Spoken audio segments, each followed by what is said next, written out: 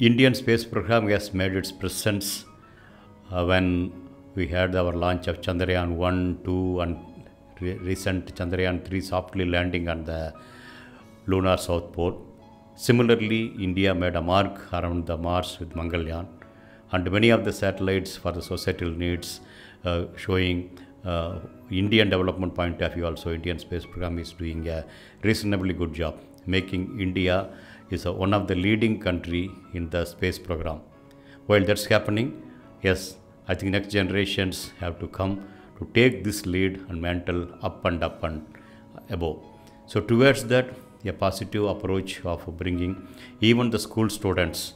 Uh, normally say there is a saying about it is not the rocket science to indicate it's something difficulty with respect to rocket and space is concerned. But taking that away and taking all the way to the rocket science and as well as the spacecraft making to the school students, especially predominantly for the government school students across India. There is an effort going on with Space Zone India. The first two, three experiments were done with a balloon, drones, and a uh, small hybrid rocket in last year February launch.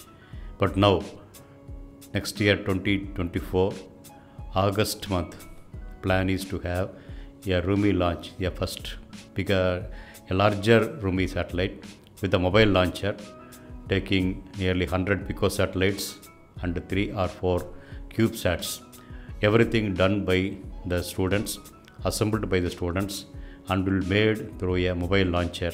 It's uh, planned that so that way it is uh, for next generation to groom in a better way and get ready for them when they are entering into the college and the universities are to aiming for the aerospace. And towards that this experiment has to go well. I am supporting in all the possible ways in the technologically as well as managerial point of view.